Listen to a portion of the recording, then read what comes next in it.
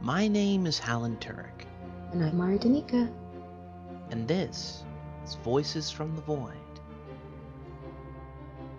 And welcome back. We're going to cover the uh, news real quick today. Um, I think our first order order of business is um, what you be doing, Brick Squad.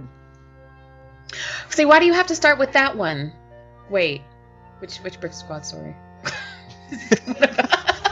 Maybe that's why we should start with it. I'm just going to throw it in there.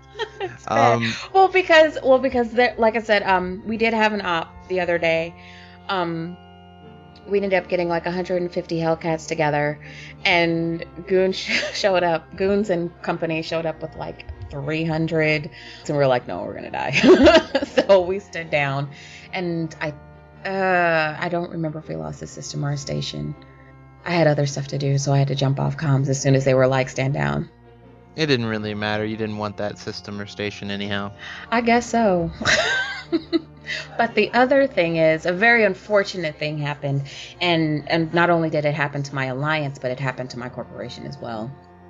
Uh test those ingenious little mother effers had some stored APIs and there were APIs I, I assume that were collected through uh, recruiting.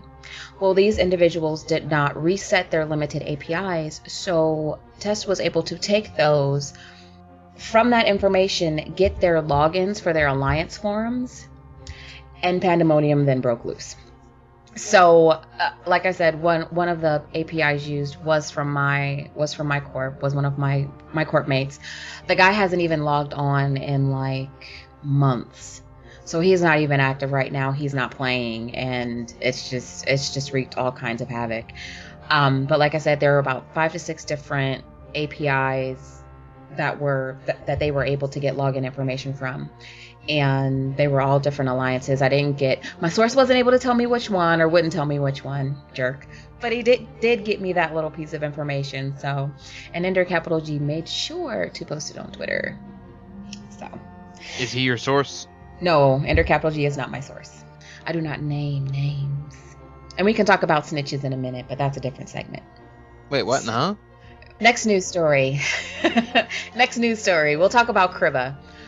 Some hoo hoo SBU Chribba system.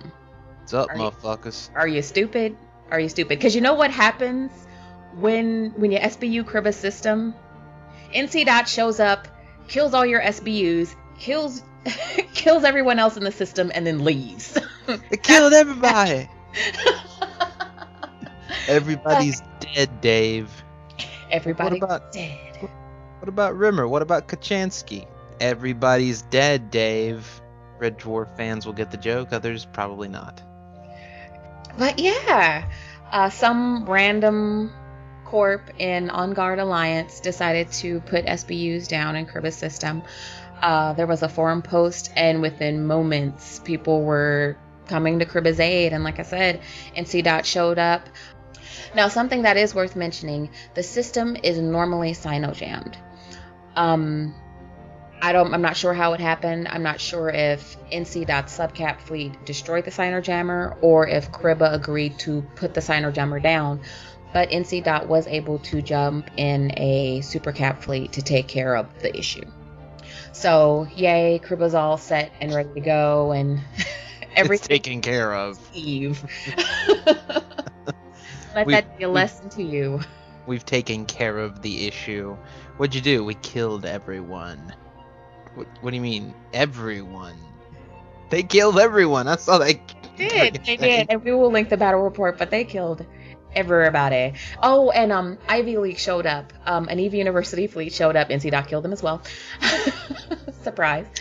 But uh but yeah, qu- help from all corners of Eve. And it's good to see things like that. It really is. Um more nullsec news, the next big grudge match.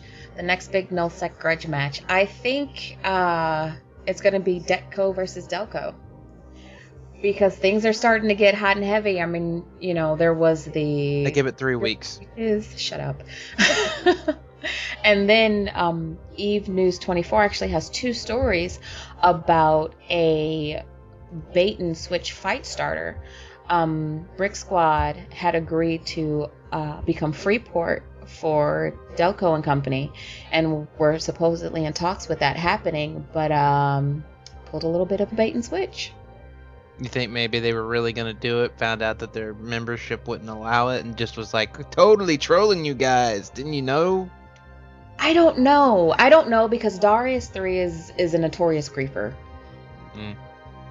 So I don't know. So it's it's it's hard to tell. It's hard to tell if they maybe were trying to to blue up to to Delco and company. They like to blue up to everybody else it seems. But um Oh, burn. but uh No, I'm just kidding. I, I totally love my alliance. But um who knows? Who knows? That's- Stop laughing. Stop laughing. I'm coming to terms. I'm coming to terms. Okay. Still only give it three weeks. Because, I mean, seriously, you only need to turn one, maybe two of the bigger, medium sized alliances, and the, de- the Delve Coalition falls apart. I mean, it's not going to be very hard to turn a couple of them. It's really not. Yes, but in talking to different players and different pilots, there really is a grudge, and it's not like a grudge, just a grudge on alliance on an alliance leadership level, but uh, like a lot of the members are just like not feeling it. They've got this last bastion mentality that, that's going on. I don't know how long that's going to last. Who We're the last bastion of non-drone cluster space in Eve, because that because AAA is falling pretty quickly. So we're the last ones. We have to defend our space to the to the to the end. Yeah, okay. we'll see how Wait it works. one out. person goes. It just takes one of those, one or two of those alliances going. Wait a minute. How about we just join up? I mean, wouldn't that be make more sense, guys? Yeah, that makes more sense. Okay.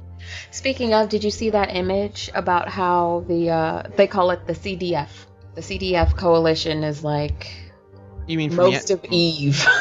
you mean from last week? The yeah, Yeah, it came out like Sunday, Sunday or Saturday. let me double That check. big poster image. Yeah, I did see that. Someone else sent me another tr- uh, troll. Let me see if I can't find it. Ah, there we go. Yeah, the DCF and you. Is that the one you're talking about? Yes, that's the one, the DCF and you. The drone cluster. Well, I'm still calling them the drone cluster. But yeah, they've they've actually had some pretty good propaganda coming out of the propaganda machine. But then again, Goons and Test are well known for that sort of thing. But and Russians too. Russians have great have some great propaganda. Oh, and since we're talking about Russians, I guess I should mention the Russians are having a Eve beauty pageant. I saw that. Some of them chicks are actually pretty good looking. That sounded so sexist. to Say that? Oh Jesus Christ. I guess there's a kind of grain of salt because I'm like, how many actually play Eve? How many are like a player's sister that's like standing by the computer? But there, I, it's very hard for me to believe that only four percent of players are women. I think it's more of an admitted thing, Well, yeah. you know. I mean, most women in, in games face numerous problems, and unless they, you know, uh, want to be publicly female, they're probably just gonna take it off as male and leave it at that. I have to agree with that, definitely.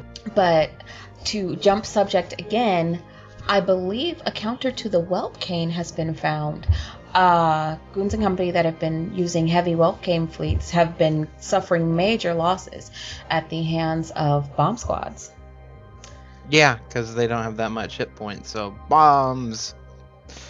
They- They're not real. I mean, that's the whole point. They're just DPS. They're glass cannon ships, so Yeah. hit them with any amount of damage, and you do some blah blah blah blah. If you can hit them all at once, pop. Exactly, they lose that alpha strike. It's it's just a bigger, it's just a different kind of alpha strike. I, I guess bombers are going to be the new flavor of the month. Everyone, dust off your hound. I'm jumping on the bandwagon. Bandwagon. Woo! Oh, let's see. Oh, entertaining news. Googling. Like, if, if you don't know how to Google, learn how to Google. Because if you learn how to Google, you may be able to kill a Titan. Yes, the Alliance Good Sacks uh, saw a Leviathan in a C0VEN POS, and they were able to Google the POS password, bump the Titan out, and get the kill now. I'm to understand he actually slow boated back in and then they bumped him out again. Where was his backup? I'm not sure. I made. Could you imagine though that you're like, I made it. I made it. Oh. Ugh. It's tragic, tragic, tragic. And other tragedies, which is just loose lips, lose ships. And this story is a testament to that. An MMFC was talking smack in what seems to be the Jabberlon 5 channel or one of the uh, multi alliance channels. And a fleet of the FC he was popping off to came and took down one of their super carriers. Bam. Good job. That's kicking it up a notch. These things do happen.